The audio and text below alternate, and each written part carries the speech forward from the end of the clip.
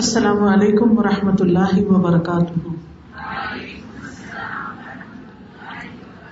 نحمده ونصلي على رسوله الكريم اما بعد، فاعوذ بالله من الشيطان الرجيم بسم الله الرحمن الرحيم رب اشرح لي صدري ويسر لي امري واحلل عقدة من لساني يفقهوا قولي ہماری آج کی گفتگو کا موضوع ہے تربیت اولاد۔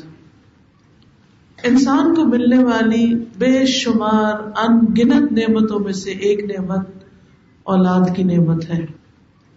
یہ اللہ سبحان تعالیٰ کا بہت بڑا فضل اور رحمت ہے کہ اس نے نسل انسانی کو بڑھانے کا یہ طریقہ بنایا، جس سے ہم چھوٹے چھوٹے بچوں کو پیدا کرنے کے بعد پالنا شروع کرتے ہیں۔ اور پھر انہیں زندگی کے ہر موڑ پر خوشحال دیکھنا چاہتے ہیں اور ان کو کامیاب دیکھ کر ہماری آنکھیں ٹھنڈی ہوتی رہتی ہیں۔ قرآن مجید میں اولاد کے ملنے کو خوشخبری بھی قرار دیا گیا۔ حضرت زکری علیہ السلام کو جب بہت عرصے تک اولاد نہیں ہوئی تھی تو جب انہیں اولاد کی خوشخبری ملی تو قرآن مجید میں آتا ہے سورت مریم میں، یا زکریہ انا نبشر کا بے غلام یا اے زکریہ ہم آپ کو ایسے لڑکے کی خوشخبری دیتے ہیں جس کا نام یاہیا ہوگا۔ یعنی بچے کی پیدائش ایک خوشخبری ہے۔ اسی طرح ابراہیم علیہ السلام کو جب بچے کی پیدائش کی خبر ملی تھی تو اسے بھی خوشخبری کہا گیا تھا۔ اور اس میں فرمایا بے شک ہم تمہیں ایک بڑے علم والے لڑکے کی خوشخبری دیتے ہیں۔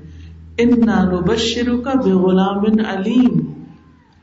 تو اس سے پتہ چلتا ہے کہ اولاد اولاد کی پیدائش، اولاد کا صحت مند، سلامت دنیا میں آنا ایک خوشخبری اور خوشی کی بات ہے۔ نبی صلی اللہ علیہ وسلم نے انہیں دنیا کے پھول قرار دیا ہے۔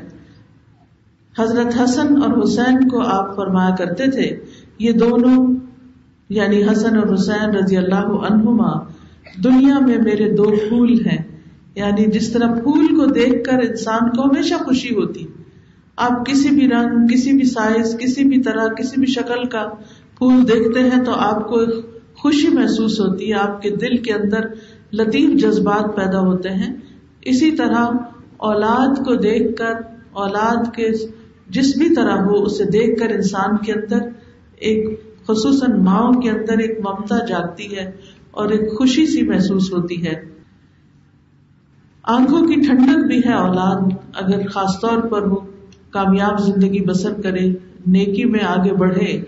اسی لیے یہ دعا سکھائی گئی، ربنا حب لنا من ازواجنا و ذریاتنا قرۃ اعین وجعلنا للمتقین اماما۔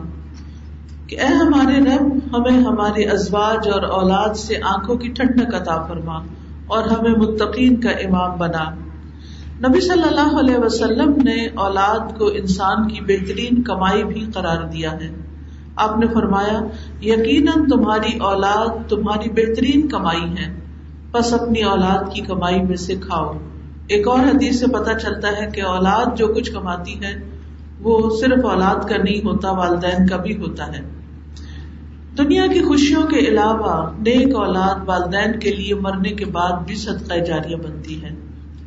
رسول اللہ صلی اللہ علیہ وسلم نے فرمایا جب انسان مر جاتا ہے تو تین اعمال کے علاوہ اس کے تمام اعمال منقطع ہو جاتے ہیں۔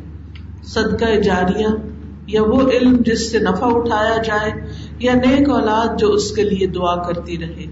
تو مرنے کے بعد بھی نیک اولاد کی دعائیں ماں باپ کو فائدہ دیتی ہیں۔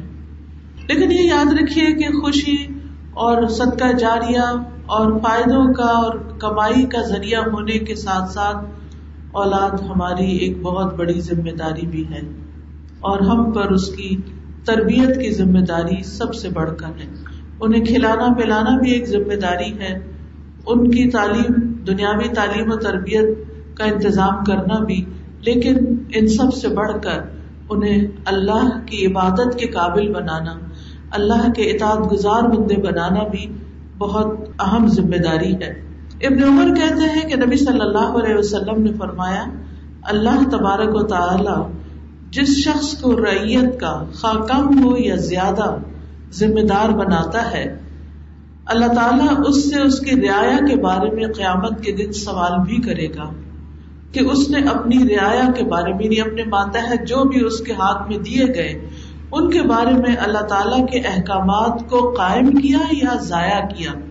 یعنی صرف یہ نہیں پوچھا جائے گا کہ ان کا دنیاوی اعتبار سے کتنا خیال رکھا، ان کے کھانے پینے، پہننے، اوڑھنے یا ان کی دنیا کے کاموں کا، بلکہ یہ بھی پوچھا جائے گا کہ اللہ نے جو احکامات دیے تھے ان کے بارے میں یا ان سے متعلق تو ان کو قائم کیا یا ان کو ضائع کیا؟ یہاں تک کہ وہ اس کے اہل خانہ کے بارے میں، گھر والوں کے بارے میں بھی خاص طور پر پوچھے گا۔ کہ ان کے بارے میں اللہ کے احکامات کو مد نظر رکھا یا نہیں رکھا۔ یعنی ہم سب سے یہ سوال ہونے والا ہے کہ ہم نے اپنے بچوں کی دینی تربیت کی یا نہیں کی؟